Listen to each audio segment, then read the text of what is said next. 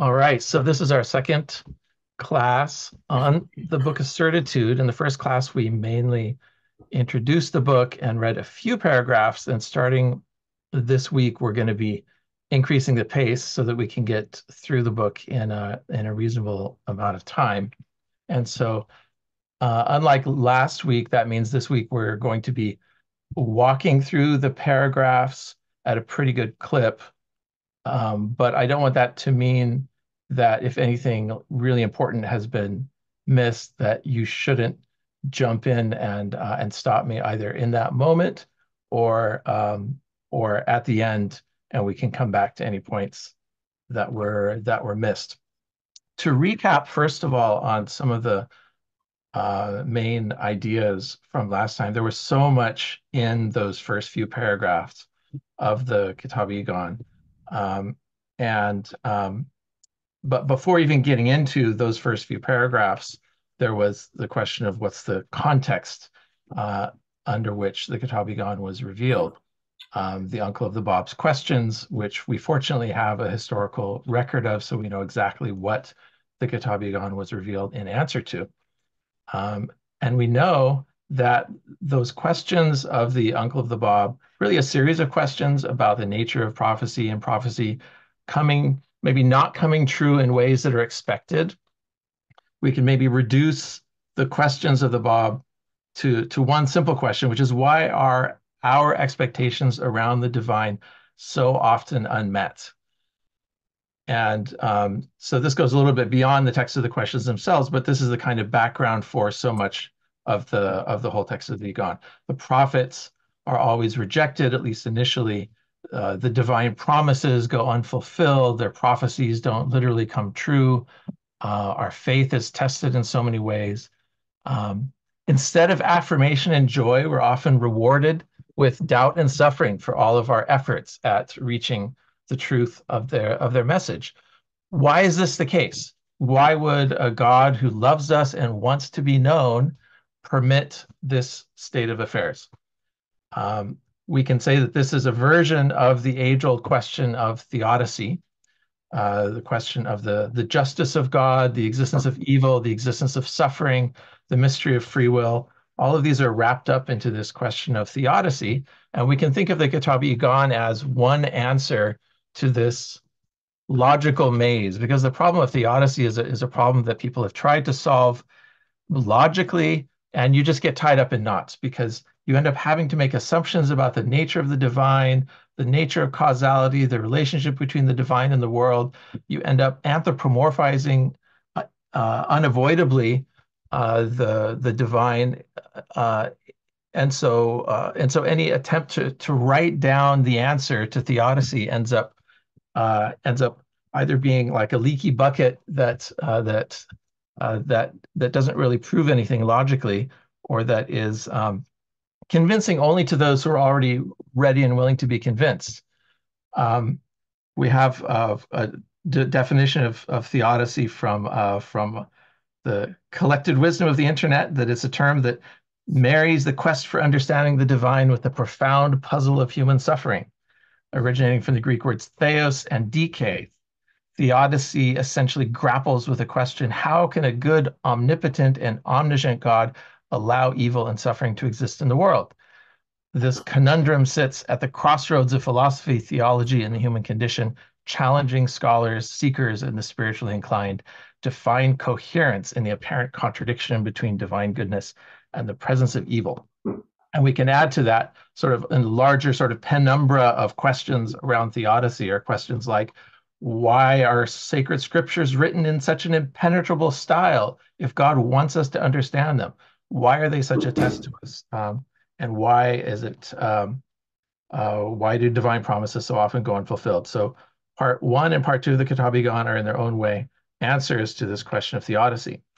So also last time, and this was from the um, from the first two paragraphs of the Kitab Iqan, we start with a, a kind of a promise. Something's being promised to us. Um, we can call it certitude. We can call it faith. We can call it true understanding we can call it a way out of the problem of theodicy that Baha'u'llah is offering in this book. And the way out is different from the logical knowing of things. It's different from knowing something in the bookish sense of the word. It's different from someone being able to just write down the answer and you're reading it and comprehending it.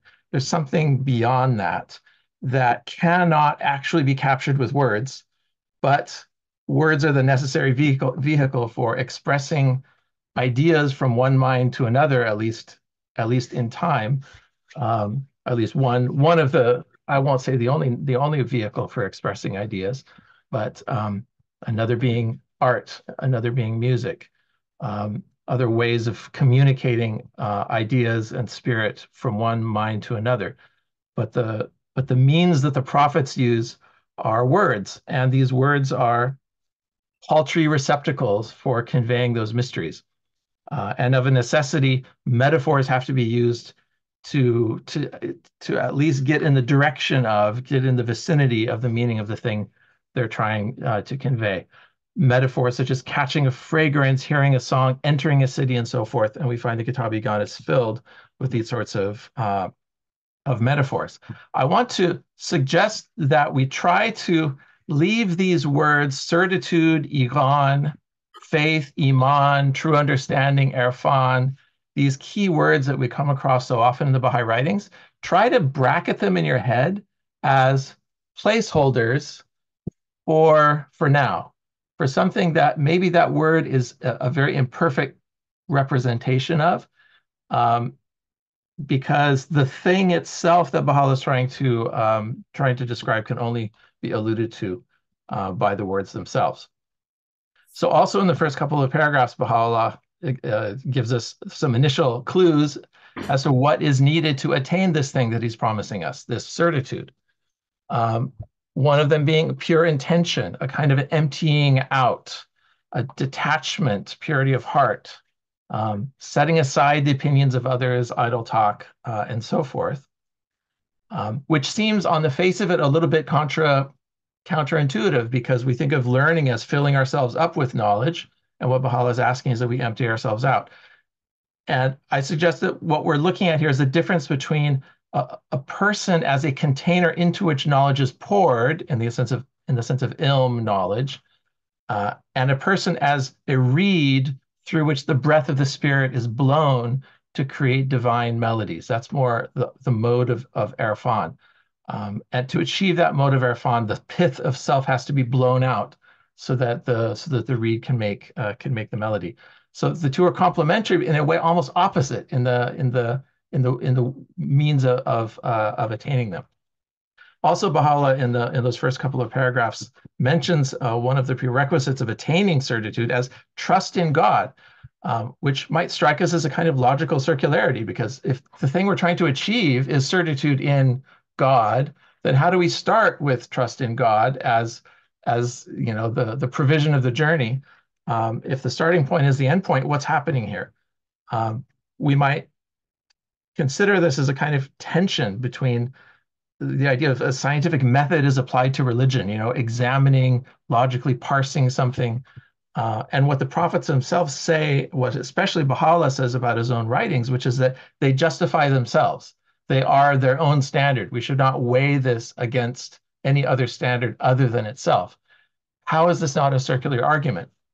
It seems that it's a system that can only be understood from the from the inside. But I'll suggest that it's in that way resembling something like a story or a poem or a piece of music. You don't take the composer's word for it that they've written an amazing song. You listen to the song. And listening to the song is a complete act. It is a, a momentary embrace of the thing offered on its own terms. And then the proof of it lies in the effect it has. Thirdly, Baha'u'llah mentions as a prerequisite to attainment the reading correctly of what kind of a thing scripture is.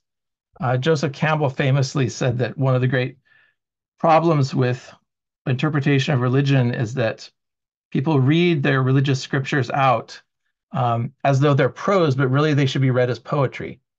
Uh, and I think that's a, a, really concise way, even of summarizing part one of the Kitab-i-Iqan, where so many people have taken these prophecies, and Baha'u'llah highlights a prophecy of the Bible, and they've read it out as prose. They've read it out as a sequence of factual statements whereas they should be read out instead as poetry, and poetry has a different kind of modality of expression. Also, last time, um, the first two paragraphs uh, invite us to a, a, means of investigating spiritual reality, which has consequences, like real world consequences. Uh, one of which is Baha'u'llah is inviting us to assume a kind of interrogative posture with regard to matters of belief, and particularly with regard to claims of authority in regard to matters of belief. Baha'u'llah, in the opening of the Kitab Iqan, is basically saying, take no one's word for it, high or low, member of the clergy, common person, they are not the standard by which to judge the truth of divine verses. This implies a profound reconfiguring of power relationships in the world, um, which which uh, so much of which are are based in one way or another upon uh, what we might call clerical uh, clerical uh, influences. Um, certainly in the um, in the in the in the realm of of of religions, but I would argue that this I, this idea of independent investigation of reality also applies uh, equally to our relationships uh, regarding power in the secular world. It also, I think, implies that every generation must discover its spiritual truths anew. We can no longer assume that people will simply follow the religion of one's forefathers. If one reads the Kitab Iqan, each generation reads and says, oh, well, I can't just take the word of this person of authority, including my own parents. One has to rediscover the truth of religion and make it new and make it fresh and make it relevant from generation to generation. Otherwise, we're just repeating the same mistakes of, of the people of the past who ended up basing religious faith on tradition and on claims of authority rather than on uh, this this its own standard, which can only be uh, pr- which can only be grasped by the by the independent investigation of reality. So um, with that maybe too long introduction um, or, or recap, this time we're going to do a walkthrough of, of paragraph 7 through 44. Um, and then um, towards the end, we'll share some, some thoughts um, on, uh, on a few different topics. So to aid us in this walkthrough, um, again, which is going to be maybe too fast, we'll see how fast it goes. we have a study outline, which I've put on the share drive. Um, this is only, of course, one way of outlining it. You'll notice if you look, um, if you just glance at it, you'll notice that it's not, um, it's not an outline that takes each paragraph necessarily sequentially, but I do a little bit of creative rearrangement of the paragraphs where I feel like it best captures the logical flow. And so you'll sometimes see a paragraph of a lower number come after paragraphs of higher number in this particular outline. So we're going to be looking at um, up to paragraph 44, um, which is about half of part one of the Kitab Iqan. Uh, and we're going to see Baha'u'llah examining the question of the rejection of the prophets past uh, and the cause of that rejection. We're going to see Baha'u'llah looking at a number of a handful of prophets uh, of the Arabian Peninsula and of the and of the Old and, Old and New Testaments. Uh, we're going to look at the cause of that rejection, which is going to move to um, what, one of the causes being the lack of understanding of the of the scriptures. We then uh, move on to Baha'u'llah's exegesis or um, interpretation of some of the verses revealed to the prophets of old, showing us the way to reading out the uh, divine uh, divine verses as as poetry rather than than as prose. So starting we're, we're starting at paragraph seven, um, and what I've done just for convenience is just scanned my copy of the Iqan, um, which has some annotations in it that um, maybe this will help a little bit. Um, in my version of the Iqan, I've annotated it with, you know, with different color pens and with different little signal, uh, different symbols to connect it to different um, uh, commentaries that exist. You know, Mr. Dunbar's commentary, uh, and uh, companion of the set of the Iqan is uh, is marked when there's you know when there's a uh, an entry in his companion. I try to to mark it in the text um, with a little D.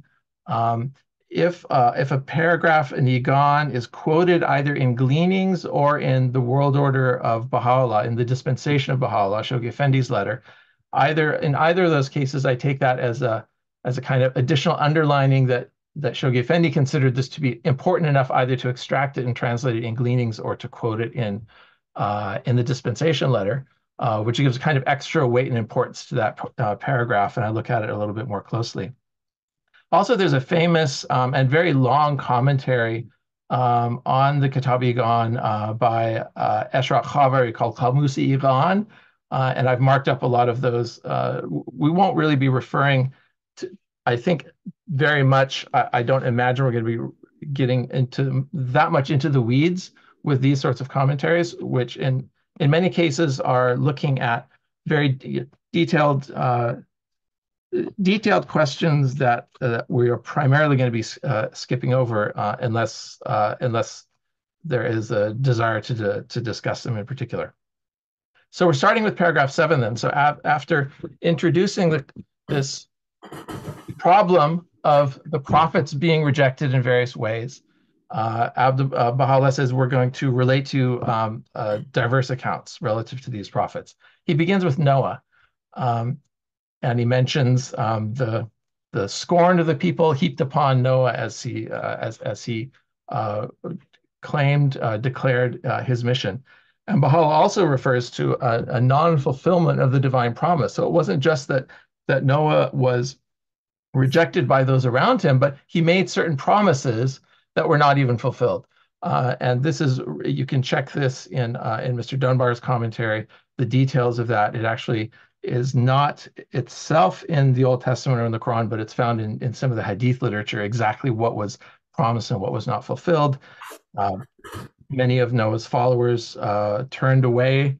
Uh, Baha'u'llah even cites two different hadiths. You know, it's either 40 or 72 followers remained after this uh, after this incident of, of non-fulfillment. Um, and then Baha'u'llah asks, what was the cause of their rejection? And what was the cause of the non-fulfillment of the divine promise, which led the seekers to reject that which they had accepted.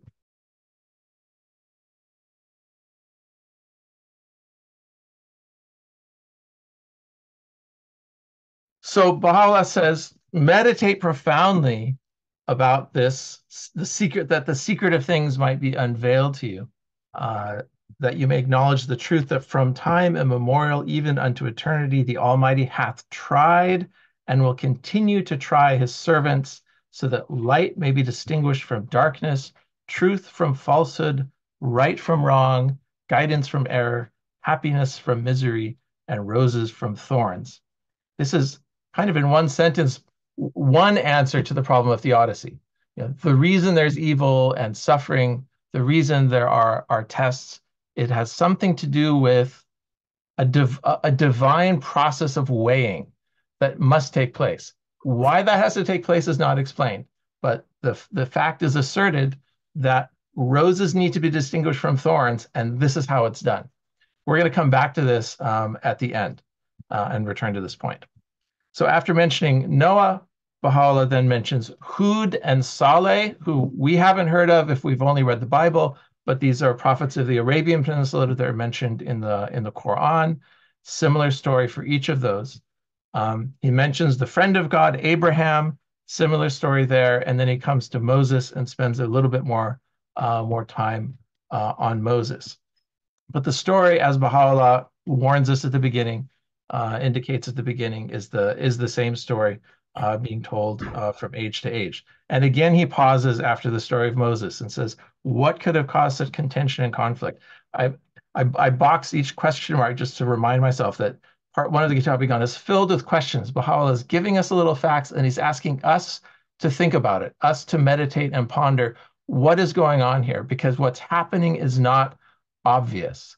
It's not obvious, particularly if we believe in the in the infinite omnipotence and benevolence of God, then all of these different things that are happening, all of the, you know, the history of the prophets is quite mystifying to us unless there's some other principle uh, involved. So Baha'u'llah asks, why is it that the advent of every true manifestation of God hath been accompanied by such strife and tumult, by such tyranny and upheaval? This notwithstanding the fact that all the prophets of God, whenever made manifest unto the peoples of the world, have invariably foretold the coming of yet another prophet after them, and have established such signs as would herald the advent of the future dispensation. To this, the records of all sacred books bear witness. Why then is it that despite the expectation of men in their quest of the manifestation of holiness, and in spite of the signs recorded in the sacred books, such acts of violence, of oppression, and cruelty should have been perpetrated in every age and cycle against all the prophets and chosen ones of God? And then he brings it up to the present day because ultimately he's trying to explain and justify the claims of the Bab in relation to the vehement denial of the Islamic clergy. Whatever in days gone by hath been the cause of the denial and opposition of those people hath now led to the perversity of the people of this age.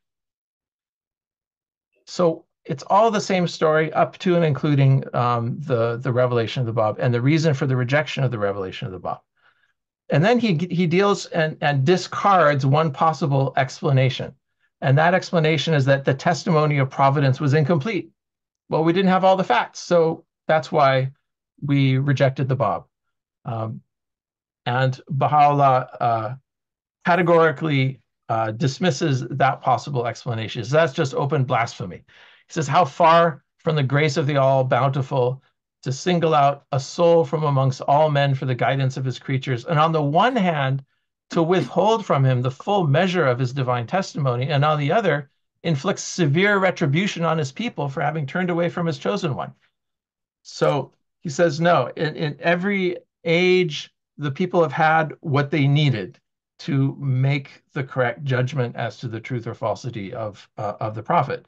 Baha'u'llah says, having weighed the testimony of God by the standard of their own knowledge, gleaned from the teachings of the leaders of their faith, and found it at variance with their limited understanding, they arose to perpetrate such unseemly acts.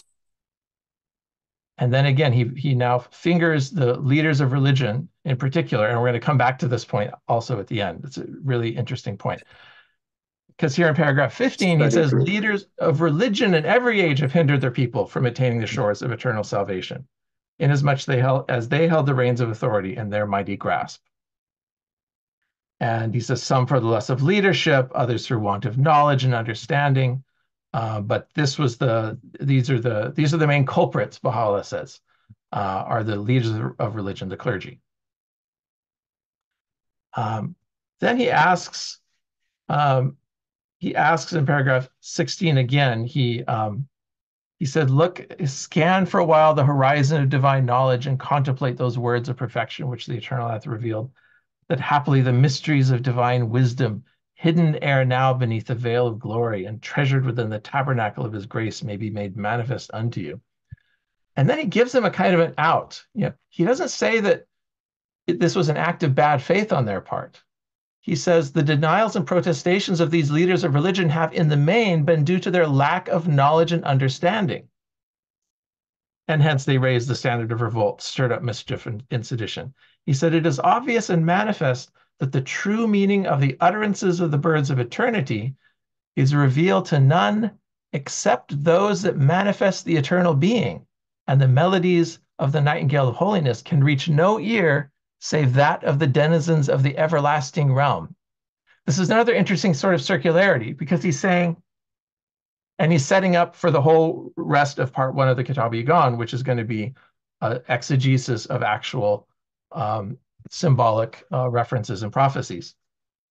But what he says is the only ones who can understand these prophecies are those who are in some way specially anointed or appointed of God, which is uh, well, so who gets to do it? Well, it's not us. It's not us mortals who, who can read and understand these things. They have to be interpreted to us. So what's Baha'u'llah doing here? Maybe one thing he's doing is this is kind of, at this point, he has not yet declared his own mission, although he has known his own mission from, from that, that moment in the Siyah-Chal already um, some time ago. Perhaps what he's implying um, is that if one accepts the proposition that really only a prophet can correctly interpret the prophecies of the previous prophet, then what Baha'u'llah is doing right now in the Kitab-i-Iqan is implicitly a kind of a kind of proclamation of his own station as a prophet, although he has not yet made that uh, made that station clear, uh, and has has not yet publicly declared that uh, that station. But it's an interesting point, and we, we might uh, we might discuss this also at, at some point um, uh, after we reach the uh, after we reach the end of the of this series of paragraphs. He then moves to the um, to the to Jesus and the tests and trials of Jesus, uh, and he connects the rejection of Jesus again, specifically setting up for the rest of the of part one of the Iqan that Israel, meaning the the, the Jewish people uh, and particularly the leaders, um, refuse to apprehend the meaning of such words as have been revealed in the Bible concerning the signs of the coming revelation. And he says, and they still await his coming. Um, and then he, uh, and this is this is I, a, I think a really key point as to why Baha'u'llah spends so much time interpreting biblical prophecies to the Shiite Muslim uncle of the Bab. Why would that be a good strategy for making a case for the claim of the Bab. And one reason why one would want to do that is because as a believing Muslim, the uncle of the Bab must believes also in the divinity of the Bible and the divinity of Jesus, and also believes that Jesus must have foretold the coming of Muhammad as a, as a believing Muslim. And so, in pointing out to this believing Muslim that these verses of the Bible have to be understood metaphorically in order to get to the revelation of Muhammad, Baha'u'llah is making a point that his interlocutor can't can't deny. I mean, the uncle of the Bab has to admit that you have to read these these verses of the Bible metaphorically in order to get to uh, and justify the the claim of of Muhammad. And having done that, it's in a much smaller step to say, well, maybe the same thing is required also of the Quran. Maybe just as we're going to have to interpret the Bible in metaphorical terms uh, maybe we're also going to have to interpret the Quran in metaphorical terms as well. So Baha'u'llah made a similar point also previously. The Kitab-i-Iqan is not the first place where he did this. Uh, it, and uh, fortunately, we have uh, in authorized English translation um, the other main place where Baha'u'llah did this, and this is Gems of Divine Mysteries, which, which he alludes to here in paragraph 18. Uh, in our former tablets, he says it in the, in the plural, but he's referring to that single tablet uh, which were addressed to a friend in the melodious language of Hejaz. So Gems of Divine Mysteries was revealed in Arabic. This book is revealed in, in Persian. But both of them take up the same verses of the Bible and interpret those same verses of the Bible. Yeah, Darius. Uh, just a quick question. It, what was, to what extent at this time in the 19th century was um, the Quran read literally versus the understanding of the need for metaphor? Like how literalist was society at that point? Oh, I don't know if I can answer that that well. I think it's probably I mean, it's pretty literalist now, right? Yeah. I, I don't think it would have trended more literal yeah. in, in the last century or two. Um, but but I don't know if that's the right answer because you know when when you ask that question with really in regard to Christianity, I I feel like there's been a kind of trend towards increasing literalism in Christianity, particularly in evangelical Christianity. And that trend really only goes back a century or so. Hmm. Um, you go back to, say, St. Augustine, Aquinas, and others. It's like when they, re, you know, when they read and, and and provide commentaries on, say, the Book of Genesis, they're not reading it out as a historical text necessarily. They, they, they, and these are people who, who lived you know, over a thousand, you know, a thousand years ago in the case of, uh, over a thousand years ago in the case yeah. of Augustine. And so, um, 1500, 60, whatever, many years ago. Um, and so the trend isn't all, always necessarily towards a more elaborate or sophisticated um, interpretation of things. Uh, I don't, I don't have a, a, a great sense of, of of the sort of sophistication of interpretation of the Quran in the Muslim world, particularly in the Shiite Muslim world over the last century or two. Great, thank you. So Baha'u'llah is referring to having done this previously in. Um, well, I do. I do know what, what yeah. one little thing I know. Maybe Shah, Shaheen might know a little more about this too. Like the return of the twelfth Imam. Like in Shiite Islam, the majority of people thought that he'd physically been alive the entire time from when the the 12th imam disappeared that it that it was literally when he was returning he had been alive and hiding among us literally for like a, a, thousand years or something like that so there was a hmm. great deal of literalism uh, not there's not any kind of return as in muhammad is the return of christ that that didn't really apply that that's one that's one small mm-hmm. thing I and also, Stephen, I think you actually uh, mentioned that in the first session. That was one of the questions of the Bab of how can the Bab fulfill this one prophecy of, of yeah. the ayah, correct? That's right. Yeah. And similarly, we have the questions that led to the um, to the revelation of Gems of Divine Mysteries, and they're very similar in their very kind of literalistic tone. Like, well, it is known that you know the city you know, of Jabulqa, Jabar Saw, the, the twin cities have this number of gates and they're this size and dimensions, but where is it? It's not on the earth. And um, and so Baha, what what we do know is that Baha'u'llah was dealing with very literal minded people. Um, I think in, any large enough population, you'll find a minority who are quite sophisticated in their in their interpretation, and and perhaps we in the West might focus on those. You know, we look at say the great uh, the great tradition of of um, philosophy in the Arab world, you know, from from the early you know centuries after the the life of of Muhammad, and there was incredible sophistication there. Um, and later in the in the um, Shiite Muslim world, in the especially in the in the Persian world, there was also a um, a very sophisticated tradition of of what you would call illuminationist philosophy, which is kind of a blending of, you know, Platonism, Neoplatonism with uh, with a kind of mystical take on Islam, but was, but was at the same time very intellectually rigorous. Um, those sorts of people wouldn't have uh, probably fallen prey to the same sort of literalistic um, sort of rabbit holes that that uh, that the, that the clergy did. But um, and um, and and when we study, when we in the West try to study, you know, the history of Islam, I don't know if we have a, a good sense in our head of what like the relative sort of weighting of these are. You know, we might overweight these highly sophisticated works and think, oh, this was like this represented the pinnacle or the, or even the majority view, and maybe maybe the majority view has always been uh, much more simplistic.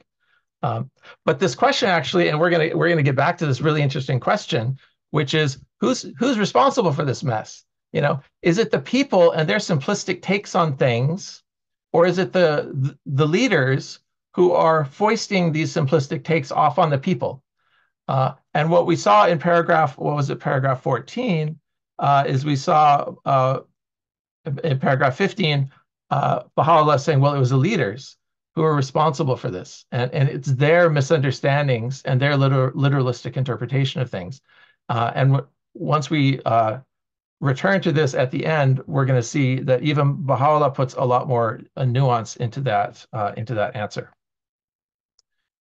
So, um, so Baha'u'llah is now set up for the remainder of, of part one of the of the Kitab-i-Iqan, which is now turning to the question of exegesis, turning to the question of uh, of interpretation of of prophecy, uh, and Baha'u'llah yeah, begins with a couple of of of comments uh, a couple of references to statements by uh, by Jesus, uh, clearly anticipating that there was going to be a return, uh, that he was going to leave and then come back again, uh, and referring also to in the dispensation of the Quran that the book and cause of Jesus were were affirmed, um, asserting the that um, that really there is uh, there is no essential difference between the person of Jesus and the person of Muhammad uh, and of his holy book, inasmuch as both have championed the cause of God, uttered his praise, and revealed his commandments.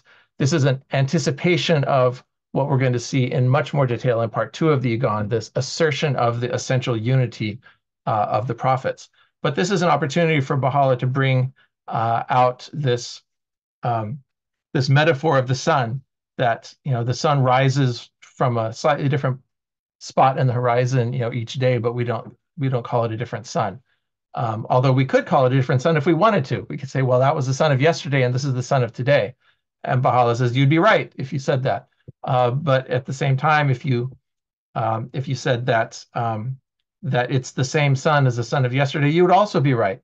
And then Baha'u'llah says, in like manner, if it be said that all the days are but one and the same, it is also correct and true. And if it be said with respect to their particular names and designations that they differ, again, that is true. For though they are the same, yet one doth recognize in each a separate designation, a specific attribute, a particular character. This is all in anticipation of um, of of part two of the Kitab-i-Iqan, um, and and we have an even even more um, uh, even more uh, explicit uh, anticipation in the next sentence, where it says, "Conceive accordingly the distinction, the variation, and unity characteristic of the various manifestations of holiness."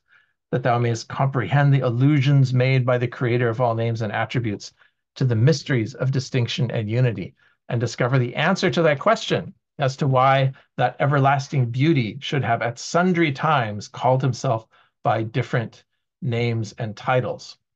And now he turns to the um, to the centerpiece of his exegesis, and he takes a few paragraphs to, to sort of work up to it. He says, Afterwards, the companions and disciples of Jesus asked him concerning those signs that must needs signalize the return of his manifestation. When they asked, shall these things be? Several times they questioned that peerless beauty, and every time he made reply, he set forth a special sign, special verse that should herald the advent of the promised dispensation. To this testify the records of the four gospels. And so we have, um, I have in my notes down below, you know, Matthew, Mark, and Luke, very clear, and and and in John as well, there is um, sort of corresponding uh, text about this particular prophecy. Uh, Baha'u'llah says he's only going to cite one of these instances, but this is really the central one. Um, it's the one that uh, that has easily the, the, greatest amount of detail. But before introducing that major uh, that major prophecy in the uh, in the New Testament, he takes a moment to to make what we might, in retrospect, with 2020 hindsight, say uh, say sounds a bit like a kind of veiled declaration, because he says, "I'm now going to reveal you the meaning of this." But having said already that only the prophets are able to correctly uh, do this, uh, Baha'u'llah is kind of skirting on the edge of saying uh, of claiming that same prophetic power for himself over the next uh, couple of paragraphs. Um, and then he. Sorry. Yes. When did he? When when did Baha'u'llah receive in this context receive understand that he was a manifestation, although he had not announced it? How long? That's right. Like, so the. When, it was in the Siyah-Chal that Baha'u'llah describes that he was visited by the maid of heaven. Although Abdu'l Baha tells us in some answer questions that they always knew it. So there's some there's some question as to to what extent they were fully aware of their own station during their childhood years and from you know their first memories and so forth. And we'll never know the answer to that. And I'm, and I'm sure different people have different different answers. But Baha'u'llah himself tells us about a, a signal moment uh, in which he was, you know, particularly awakened to the to his his divine mission, and that happened in the in the Siyah-Chal. Um, and uh, it happened before obviously before he was exiled to to Iraq. Uh, and we don't know the the exact day or even the exact month that it happened, uh, but it happened. Um, am I getting the year right? It, it happened around the year 1851, um, I think. It was not long after the martyrdom of the Bab, which was in 1850. Baha'u'llah was, uh, and then the attempt on the on the Shah's life that happened soon after that, and then Baha'u'llah was thrown into the Siyah-Chal as a consequence of that. So this all happened in succession around the year 1851, maybe January 1852. I can't remember exactly, but it's right around that time. Whereas right. the Kitab-i-Iqan was revealed um, in, uh, I might have said in, in my last slides, around 1860, 1861. So we have a passage of around 10 years when Baha'u'llah was still concealing the messianic secret. And this is a sort of the last stage of that sort of concealment of the messianic secret when it's almost it's almost sort of breaking out. You know, you can sort of little flashes of light are coming out here and there, and then the whole thing erupts on the on the day of uh, on the days of, of Rezvan in uh, in April of uh, of 1863, and it sort of comes out fully in, into the open, or at least more fully than it had before. So Baha'u'llah then, uh, having introduced what, what he's going to be doing in paragraph 24, delivers the uh, the the quotation, and he's and he's quoting from Matthew, although very similar statements are found in the in the other gospels. That immediately after the oppression of those days shall the sun be darkened, and the moon shall not give her light, and the stars shall fall from heaven, and the powers of earth shall be shaken. And then shall appear the sign of the Son of Man in heaven, and then shall all the tribes of the earth mourn, and they shall see the Son of Man coming in the clouds of heaven with power and great glory, and he shall send his angels with a great sound of a trumpet. And that was quoted in Arabic, and then he himself translates it into Persian and says the same thing in Persian. And what happens over the next many dozens of paragraphs up until the end of part one is Baha'u'llah now goes through sequentially and describes what is meant by oppression, what is meant by sun and moon and stars, and um, and what is meant by the clouds, the clouds of heaven. That's a big one, um, and the angels and the trumpet and so forth. So we're going to get an exegesis of of all of these, which we will be um, um, not not not doing perhaps complete justice to it because uh, because of time constraints. So Baha'u'llah says, inasmuch as the Christian divines have failed to apprehend the meaning of these words and did not recognize their object and purpose, and have clung to the literal interpretation it gives us the, the divines he's singling out. Clung to the literal interpretation of the words of Jesus, they therefore became deprived of the streaming grace of the Mohammedan revelation and its showering bounties. Like, what stronger argument could he make for interpreting, uh, for, for interpreting, having to interpret the Quran in the same way to, to be able to recognize the claims of him whom God shall make manifest, whoever that happens to be? Of course, Baha'u'llah saying it's the Bab. Um, and then besides this passage, he, he references another, uh, another verse of the gospel where he says, heaven and earth shall pass away, but my words shall not pass away. Um, and says that people have mistakenly also literally interpreted this to mean that the, God, the law of the gospel shall never be annulled. Um, and uh, which Baha'u'llah will argue is, is not the case because the law of each preceding dispensation is superseded by the law of the subsequent uh, dispensation. So now he says, I'm going to share with you a dewdrop of the fathomless ocean of the truths treasured in these holy words, uh, beginning with the matter of oppression. So as to these words immediately after the oppression of those days, and it's such an incredible description of the present day. It's just amazing. They refer to the time when men shall become oppressed and afflicted, the time when the lingering traces of the Sun of Truth and the fruit of the tree of knowledge and wisdom will have vanished from the midst of men, when the reins of mankind will have fallen into the grasp of the foolish and ignorant, when the portals of divine unity and understanding, the essential and highest purpose in creation, will have been closed, when certain knowledge will have given way to idle fancy, and corruption will have usurped the station of righteousness. Such a condition as this is witnessed in this day. Again, he's jumping between the time of Jesus and, the, and, and this moment. Uh, witnessed in this day when the reins of every community have fallen into the grasp of foolish leaders who lead after their own whim and desire. And he gives uh, more on this more on this theme. Uh, he singles out the Muslim uh, divines for a particular uh, for particular mention in paragraph 28, where he lists not uh, kind of gives this incredible ninefold description of what they're like, that their hearts are, are basically closed to the truth.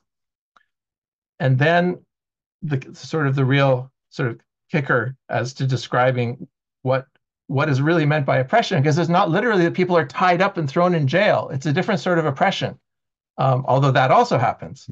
Uh, and there and there are oppressions of that more uh, of that of that more tangible sort Baha'u'llah here is referring to the more intangible kind of oppression. He says, What oppression is more grievous than that a soul seeking the truth and wishing to attain unto the knowledge of God should know not where to go for it and from whom to seek it? For opinions have so sorely differed, and the ways unto the attainment of God have multiplied. This oppression is the essential feature of every revelation. Unless it cometh to pass, the Sun of Truth will not be made manifest.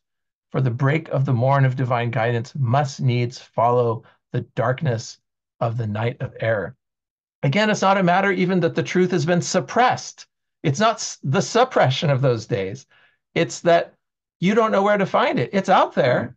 I mean, it's an internet search away, but the internet is 99% noise and 1% signal.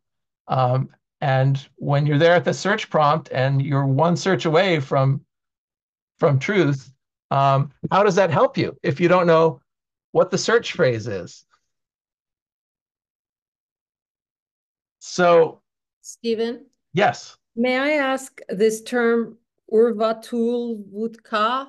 yes, yes. I had a note on this too. It's it means it's it's a phrase from the Quran and it means the sure handle.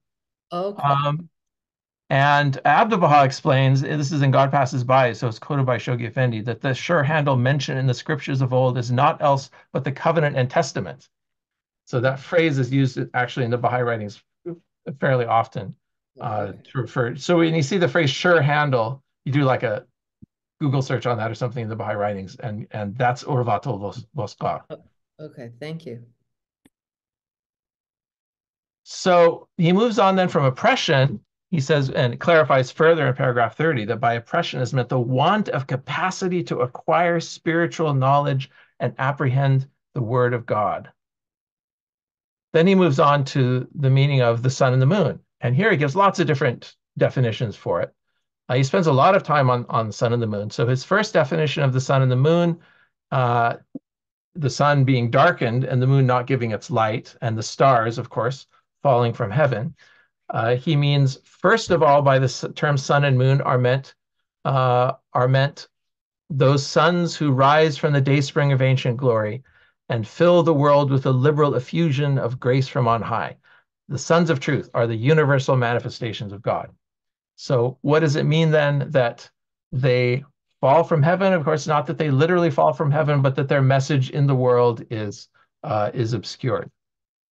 That these divine luminaries, he says, seem to be confined at times to specific designations and attributes, as you have observed and are now observing, is due solely to the imperfect and limited comprehension of certain minds. So there is a kind of clouds that may get in the way between the sun of truth and the earth, and that's totally a function of the clouds. It's not a function of the of those sons of truth themselves. They keep on shining. Then he says also by the term sons, sometimes is referring to these immaculate souls. The in a Shiite context, he's referring to the imams of the faith, those successors uh, to Muhammad, of whom there were uh, there were 12 in number, the 12th having disappeared under obscure circumstances, um, and the Bab having claimed to be the return of that of that 12th imam.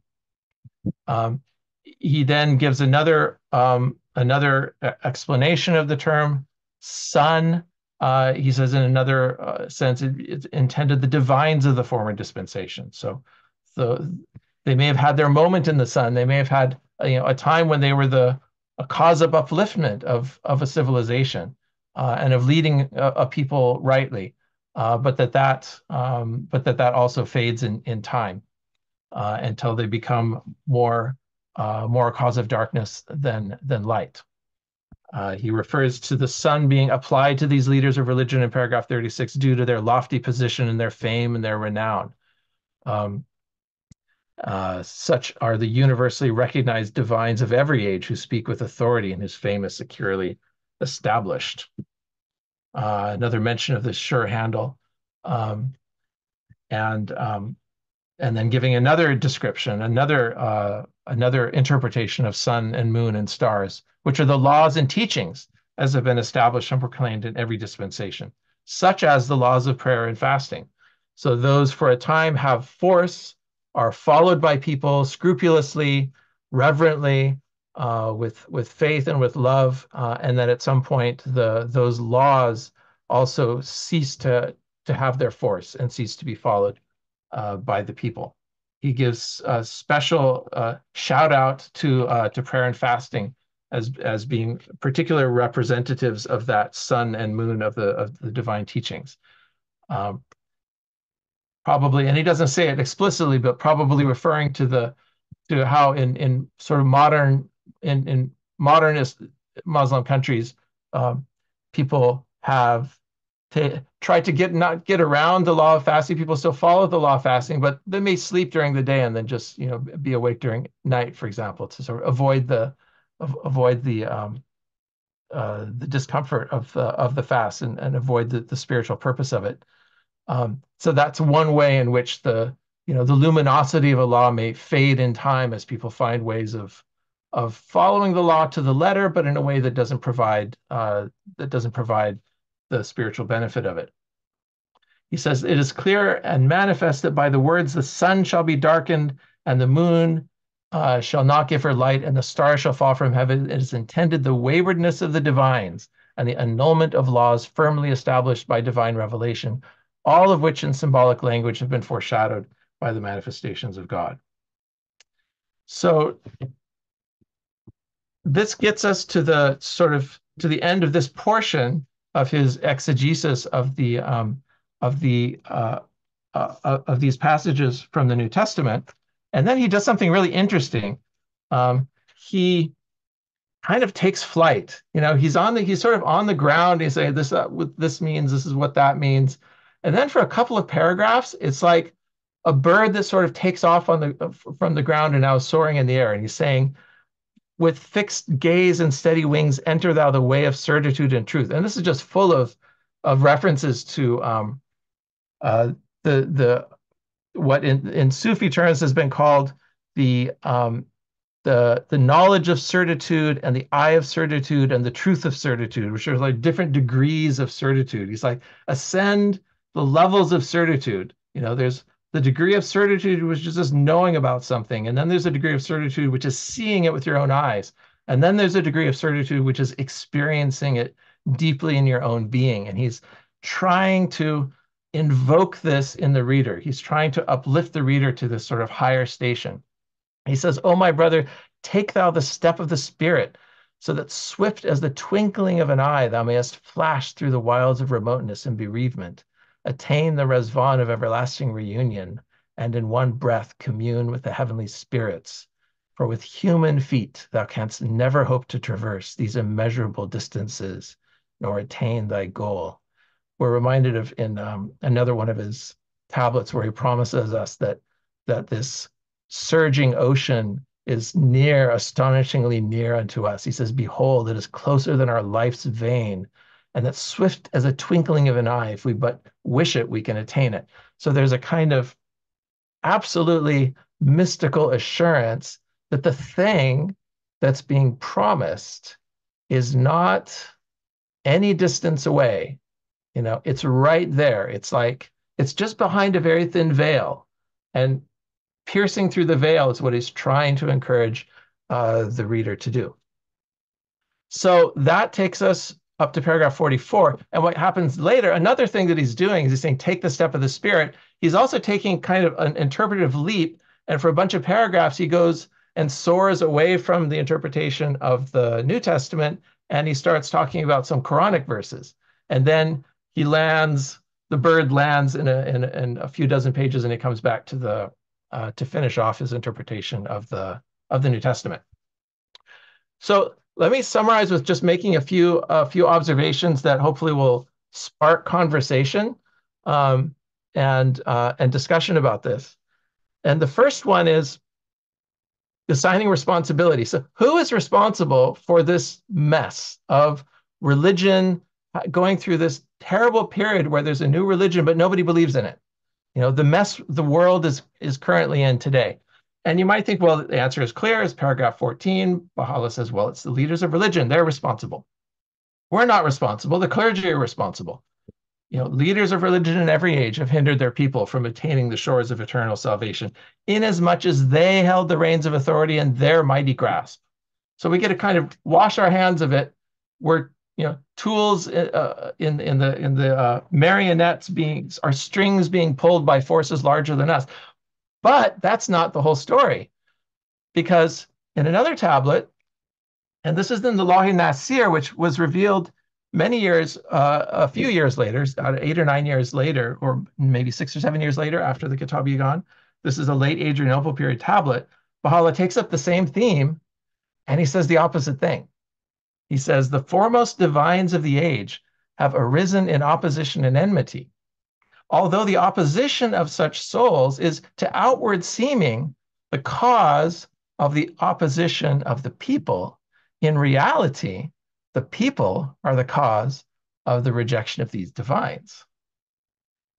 What's going on here? Why is Baha'u'llah you know, saying exactly the opposite thing here that he did in uh, in the Kitab-i-Iqan? So is Baha'u'llah just being inconsistent, or is there some deeper principle at work? So let me suggest that the, there is a deeper principle at work, and it has something to do with chapter 44 of Some Answer Questions, where Abdu'l Baha is asked a question about why it is that God sometimes rebukes the prophets. Uh, and this is a question of Laura Clifford Barney. Certain words of rebuke have been addressed to the prophets of God in the sacred scriptures. To whom are they addressed? And to whom do they ultimately refer? And Abdu'l Baha takes a whole chapter to say this, but the summary of it is is is nicely uh, is nicely seen here in the first few words of the answer, which is that every divine utterance that takes the form of a rebuke though it be outwardly addressed to the prophets of God, is in reality directed to their followers. The wisdom of this is not but unalloyed mercy, that the people might not be dismayed, disheartened, or burdened by such reproaches and rebukes. So God's being nice to us by not saying it's our fault and putting it all. If if if it's true that that we can sort of transpose this answer also to the answer of why it is that the clergy were blamed in the Kitab-i-Iqan when when really the, the people were were at fault, as as Baha'u'llah later says in the in the Lawh-i-Nasir. Um, just as a as a as a nice aside, uh, Kipling had a beautiful beautiful um, poem about this. Um, maybe my wife could read it, so so I can, um, because my throat is getting a bit dry. Oh, sure. Thanks, Catherine. Some water the disciple. He that hath a gospel to loose upon mankind, though he serve it utterly, body, soul, and mind, though he go to Calvary daily for its gain, it is his disciple shall make his labor vain. He that hath a gospel for all the earth to own, though he etch it in this it on the steel or carve it on the stone, not to be misdoubted through the through the after days, it is his disciple shall read it many ways. It is his disciple, ere those bones are dust, who shall change the charter, who shall split the trust, amplify distinctions, rationalize the claim, preaching that the master would have done the same. It is his disciple who shall tell us how much the master would have scrapped had he lived till now, what he would have modified of what he said before, it is his disciple shall do this and more. He that hath a gospel whereby heaven is one, carpenter or cameleer or Maya's dreaming son.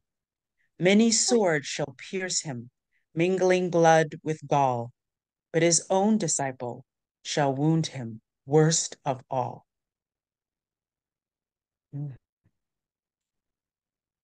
So this leads to another speculation.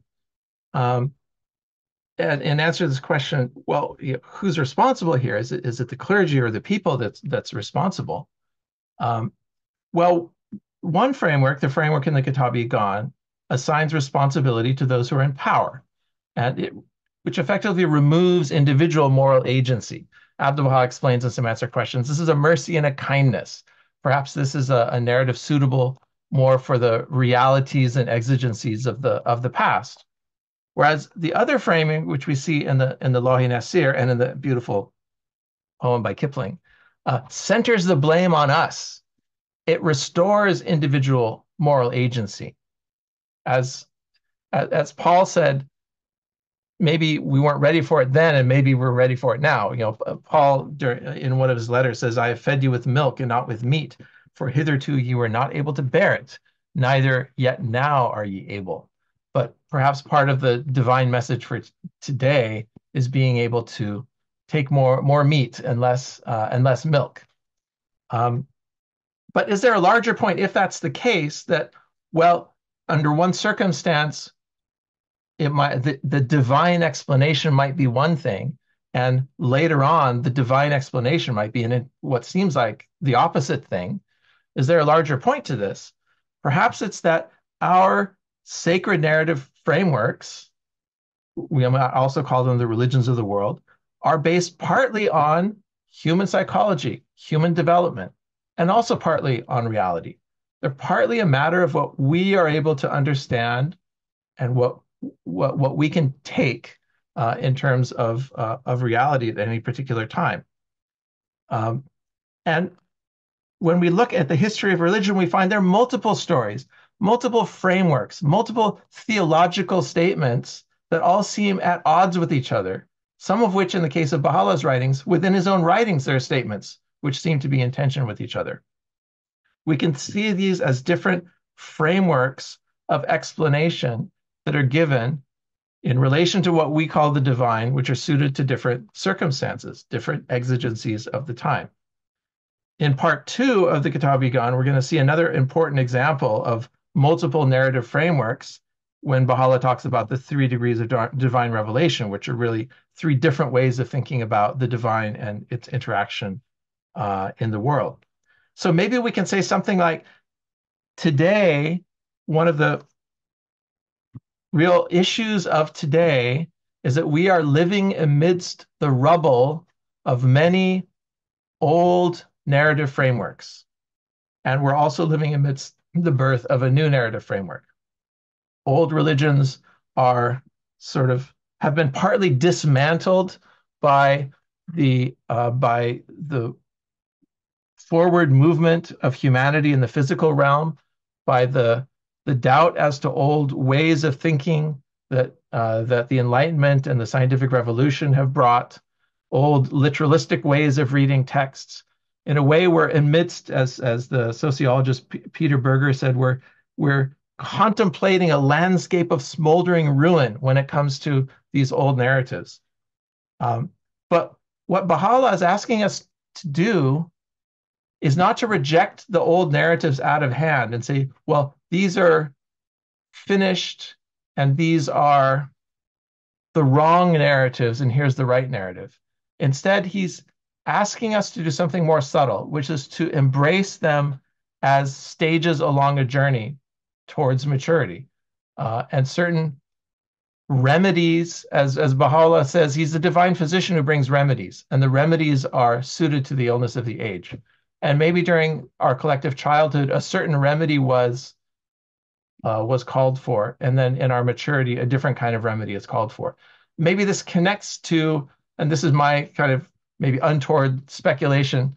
Uh, this connects with why Baha'u'llah in one place and say the Kitab-i-Iqan would say the the clergy are you know are are, uh, are the cause, which kind of takes the agency out of our own hands. But then later on, he says, yeah, actually, it was the people who were uh, who were uh, who are the ultimate ultimately responsible. And but whether we assign blame to the people or to the leaders of religion for the for the mess of uh, of this widespread uh, you know, decline of um, of, of belief in the sacred and, and the widespread draining out of meaning in the world. Uh, why is it the case that this hap- is happening? Why does it have to happen? Uh, why are the prophets rejected from age to age? So, a little bit more speculation on this part. My suggested answer is that because free will is involved, it, some will always accept the truth, others will always reject the truth. But, and, and, and to imagine why this has to be the case. Imagine the opposite ca- case. Imagine the case where there's a world where civilization progresses like you know, kind of like it has in our real world. But prophets come like clockwork, everyone instantly recognizes and accepts them. What kind of a world would that be? That would be a machine world.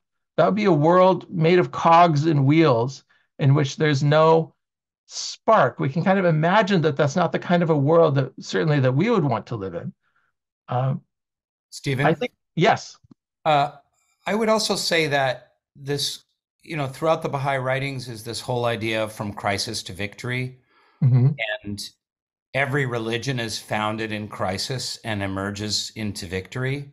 And that's part of mm-hmm. its mythology, and it's a necessary part of any religious mythology. You know, for the Christians, the fact that there were only a handful of believers at the death of Jesus, and then hundreds or thousands died mm-hmm. at the lions and the Romans, and then, you know, it conquered the world essentially is a really important part of the mythology. Yes. And also that this this alternating crisis and victory comprises cycles that are somehow embedded in the heart of things you know there's a it's it's and it's not just religions that that experience these cycles of of crisis and victory of death and rebirth every cell in our bodies has that experiences that as well our, our individual lives also we have to die to make room for the next generation civilizations have to decline for new civilizations to take their place. Planets have to be burned to cinders by the by old exploding stars that they used to circle to make way for the next generation of uh, of of planets and stars. It's like from the smallest to the largest, the the world is is characterized by cycles of death and rebirth. Um, and when one is in the midst, as we are, of, of the cycle of death, it can be extremely hard to see the rebirth uh, and extremely hard to appreciate the power of that small band of people who are carrying that light that that will that will eventually set aflame the world again. I think um, I, I mean another way to put this in terms of I mean, I'm mentioning free will as as as a, as a phrase, but as as with certitude or true understanding or, or faith, think of free will as a kind of um, think of it as like a placeholder in your head for some principle that maybe maybe we don't really have the right words for it. Call it spirit, call it consciousness, call it free will, call it the creative principle the world cannot be described solely by the mathematical laws of necessity, the inevitability of objects falling when they're dropped, and and of you know of, of the the chemistry of heat exchange and so forth. Um, there has to be something more. Uh, Baha'u'llah beautifully put it in spiritual terms in paragraph eight of the Kitab-i-Iqan, where he says the reason for these tests and trials, for things happening in a way that's not mechanical, um, for a way, the reason for things happening that require human input and either acceptance or rejection is something about distinguishing roses from thorns. There, there's something in the divine plan of things that differentiates roses from thorns. And we're in in the thick of that right now uh, in the world. Um, again, maybe free will is, is a very poor placeholder for that thing, that spark that the world has to have that differentiates it from just a dead world that just follows math, the laws of mathematical necessity. Um, there's a word that Baha'u'llah uses, mashiat, will, uh, and that idea of will is is perhaps maybe maybe even a better word, um, pure creative principle that's responsible for uh, for everything and of which we ourselves are individual manifestations as drops of the of the ocean of the will. And that component of will is necessary um, but with that will with that component of will in the world also comes all the other things that, that go with it. Rejection of prophets the evil and suffering uh, that, that we experience in the world.